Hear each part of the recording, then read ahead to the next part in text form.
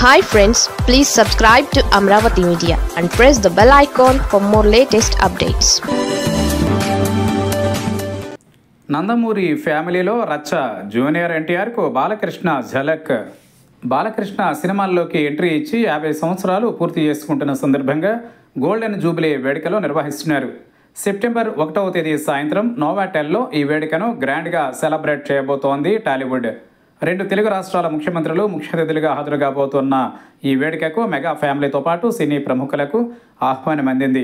అయితే బాలకృష్ణకు స్వయాన అన్న కొడుకు సినిమాలలో సీనియర్ ఎన్టీఆర్ వారసత్వాన్ని మోస్తున్నాడన్న పేరున్న జూనియర్ ఎన్టీఆర్కు మాత్రం ఆహ్వానం అందలేదని తెలుస్తోంది. జూనియర్తో పాటు కళ్యాణ్ రామ్కు కూడా పిలుపు లేదన్న సమాచారం టాలీవుడ్ ఇండస్ట్రీలో హాట్ టాపిక్గా మారింది.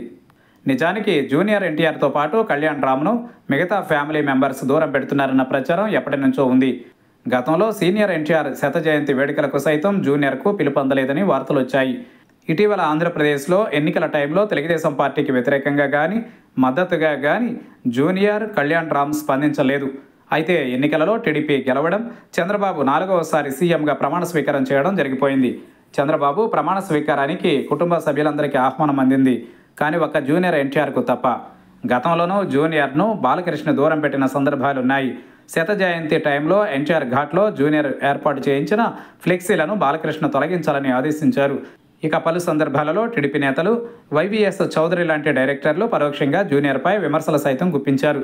జూనియర్ ఎన్టీఆర్కు టీడీపీతో ఎలాంటి సంబంధం లేదని అసలైన వారసుడు లోకేషేన్ అంటూ బుద్ధా వెంకన్న బహిరంగ ప్రకటనలు చేశారు.